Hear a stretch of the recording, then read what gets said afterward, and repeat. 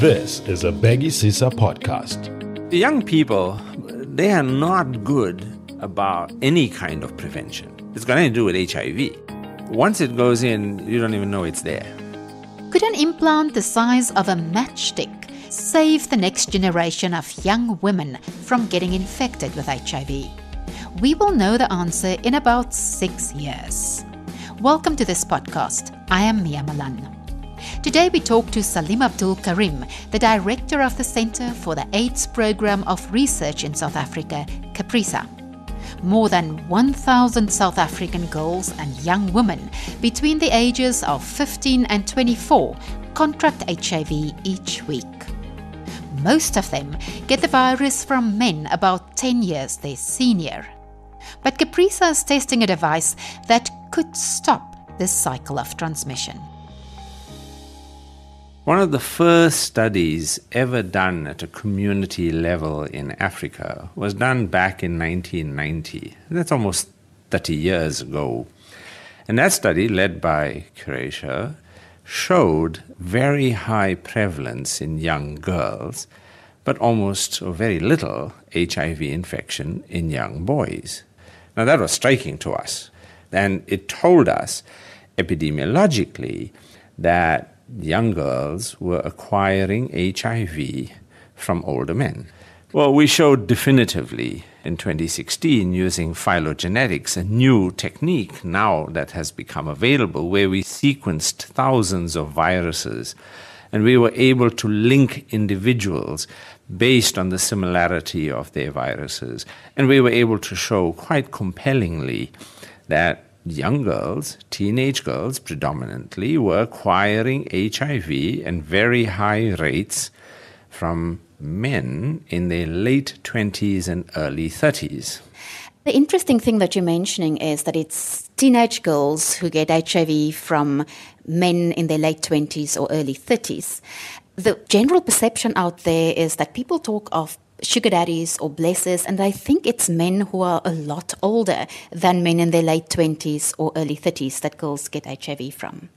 Yes, and I think that's been part of the confusion. If you look at the data we have, it's very clear that the average age difference between these young girls, particularly teenage girls and their male partners from whom they are acquiring HIV, it's between 8 and 10 years. So, in other words, these very young girls are acquiring HIV from men about 10 years older.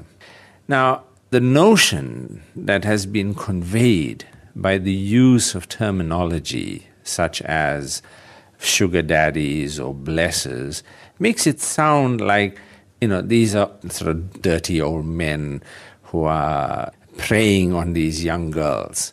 It's actually far from the truth.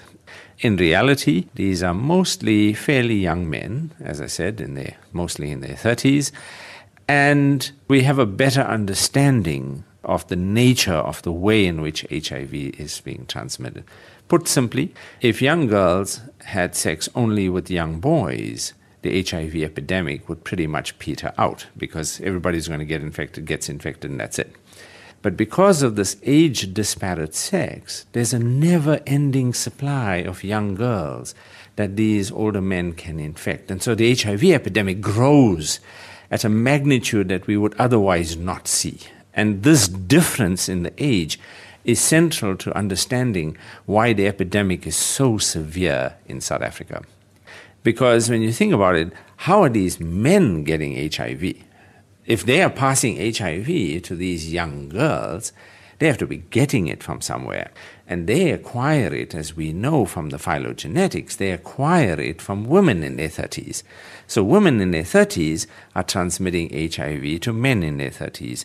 These men have a second partner or a third partner who is a young girl, and they transmit HIV to that young girl. These young girls then grow up, and when they reach their 30s, they transmit HIV to the next group of men in their 30s, and that's how we see the cycle of HIV transmission.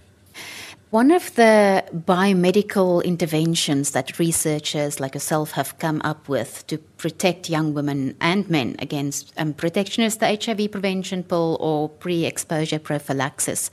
But it seems like young women don't really have a very good uptake of PrEP at demonstration sites. What are we doing wrong? Young people, they are not good about any kind of prevention. It's got nothing to do with HIV they would drive you know, at higher speeds, they would, you know, jump off cliffs, and they would do things that are risky. And that, in fact, is the age at which to do risky things. So when you take that group and you now tell that group to think about the fact that they may be at risk of HIV and that they need to take a tablet every day that's simply a bridge too far. So we've come to realize that we have got to find some way in which to protect young girls so that they don't have to actively acknowledge and think about their risk of HIV every day and then have to act every day. What are those new ways? Are they injections or implants? Uh, there are many different things that groups are working on, but the two main streams of research are to look at injectables, and these are injections that you would have to take monthly or six weekly or two monthly, depending on how long they last. And uh, the alternative is to take something that's longer acting. We, from our experience, have found that you know asking a woman to take a monthly injection is almost as difficult as asking them to take a daily pill. So that's not going to get us very far. So we've opted for the option of trying to make something that would last a whole year. And uh, working with a group in the US and with colleagues in Europe, we are developing a matchstick size implant. It's a little silicone implant that has a highly potent drug called tenofovir alafenamide, TAF for short. And we take tenofovir alafenamide and we fill it into this little tube and we can insert it under the skin.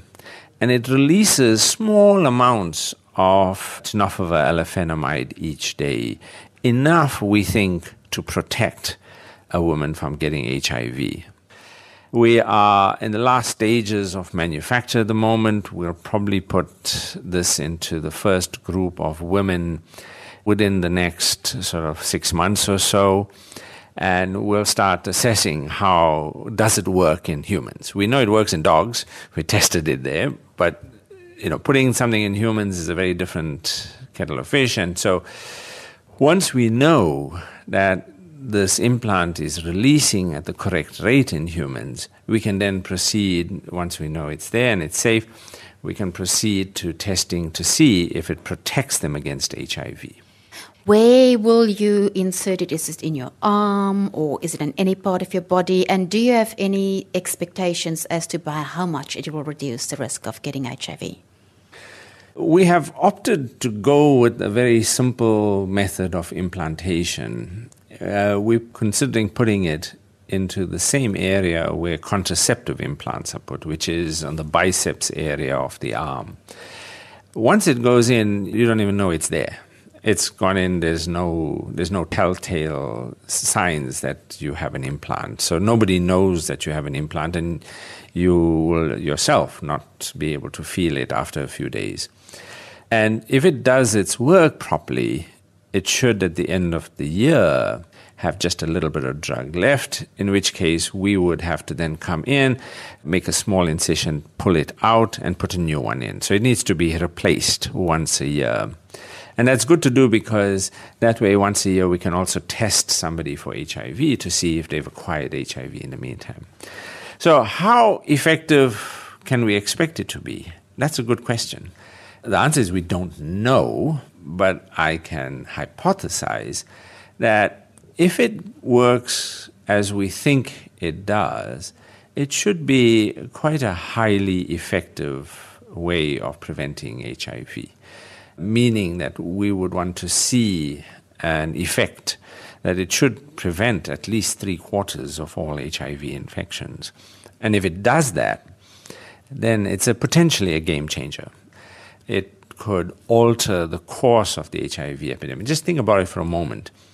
If we went in KwaZulu Natal, where young girls have the highest risk of HIV, and we simply had a program where you went to every school once a year, and every girl in every school had an implant inserted, provided they agree to it. And one year later, you just went back, you tested them for HIV, and you replaced the implant. I mean, that is a doable intervention. It's within our means to do something like that. And if we can protect these young girls from acquiring HIV, we break that cycle of HIV transmission I talked about. It means we'll have a whole generation of teenage girls who will not have HIV when they reach their 30s to infect men. So that would be a central feature of trying to break the cycle of HIV transmission. That was Professor Salim Abdool Karim, who is the co director and founder of the Center for the Program of AIDS Research in South Africa. The production for this podcast was done by Dylan Bush and Danny Boyson. Until next time, I'm Mia Malan.